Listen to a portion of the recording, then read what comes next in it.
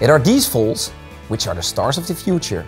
First, and among others, for breeding, with a dam who jumped herself up to the 1 meter 45 classes, a sister of among others the 1 meter 55 classified Weihrauch and of the 1 meter 40 show jumper Cheyenne. And her dam, who's a sister of the stallion Concord, the 1 meter 55 jumper Chires and the 1 meter 45 classified horse Garnet. And in addition, because of the sporting expectation that this brings, with this explosive, light-footed filly.